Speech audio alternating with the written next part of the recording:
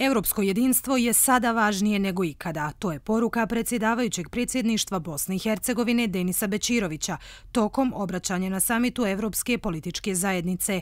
Naglasak je da moramo jačati sigurnost i demokratiju i da su to dva stuba na kojima počiva stabilno društvo.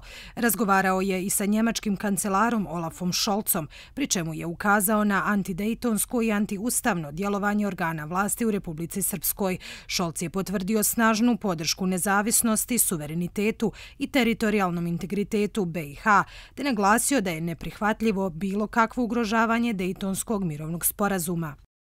Europsko jedinstvo je sada važnije nego ikada nakon drugog svjetskog rata. To je od strateškog značaja posebno u trenutnoj globalnoj situaciji. Jedinstvo trebamo primarno graditi na zajedničkim vrijednostima slobode, demokratije i ljudskih prava. Odbrana sigurnosti i demokratije nije dužnost samo jedne države ili jedne organizacije.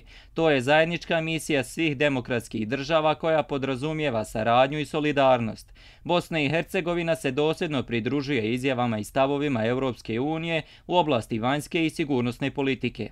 Volodimir Zelenski i Ukrajina u fokusu su samita. Domaćin samita premijer Velike Britanije Keir Starmer je pozdravio napore ukrajinskog predsjednika na očuvanju evropskih vrijednosti.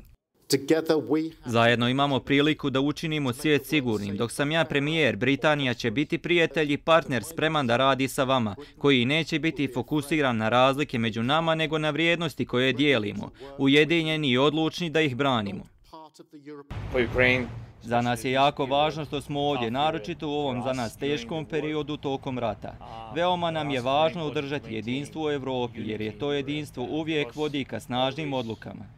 Na samitu su se obratili između ostalih premijer Mađarske Viktor Orban, predsjednik Francuske Emmanuel Macron.